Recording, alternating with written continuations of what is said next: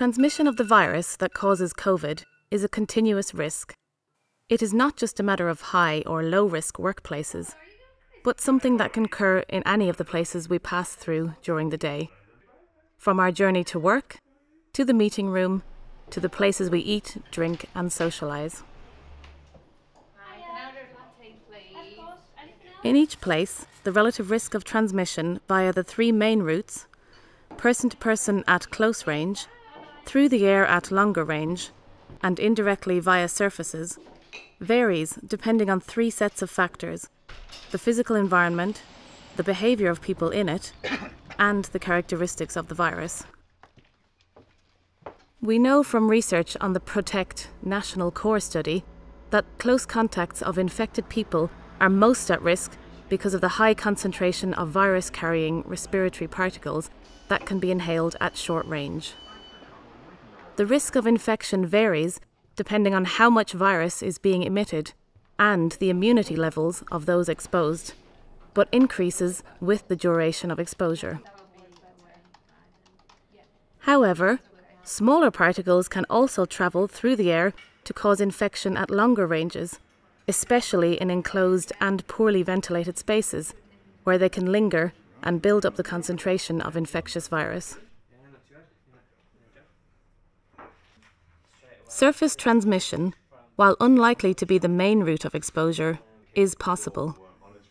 Our real world outbreak investigations have not found any live virus in these environments, but we have detected signs that the virus has been present on surfaces in high traffic areas, such as canteens and changing rooms, that may not get as much cleaning attention as the main office space or factory floor. Our laboratory studies have shown the ability of the virus to infect people reduces as it dries, so recently touched surfaces may still pose a transmission risk.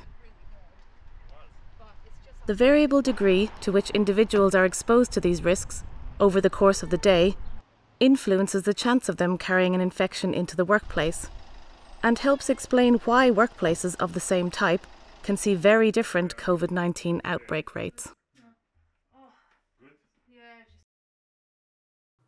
However, we also know from PROTECT research which controls are effective at reducing transmission in different scenarios.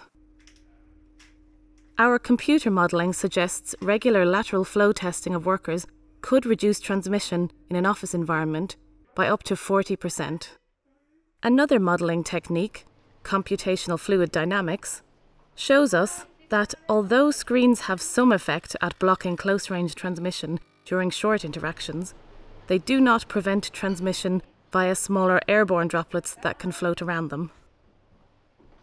To prevent this and the other routes of transmission, properly worn face coverings are one of the most effective controls, stopping a high proportion of virus carrying particles being emitted at source. Effectiveness varies by type, but our experiments have found commonly available surgical face masks and cloth coverings to be effective at reducing aerosol and droplet emission. Meanwhile, improving ventilation, whether by opening windows or employing mechanical systems that bring in fresh air rather than recirculating it, is very important to prevent the buildup of virus carrying particles that mix into the air.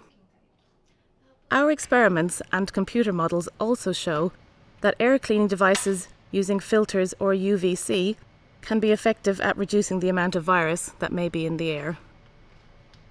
Maintaining cleaning and hygiene standards is a worthwhile precaution against the possibilities of surface transmission, as well as having beneficial side effects for the reduction of other infections. Managing occupancy can be very effective for reducing all routes of transmission. Spaces with fewer people in them reduces the chance of an infected person being in the space and can also minimize the size of an outbreak if transmission does happen. This also helps with physical distancing, which reduces the risk of close range person to person transmission. It is important to carry out a risk assessment to work out the combination of controls which will have the biggest impact in reducing transmission in a specific situation.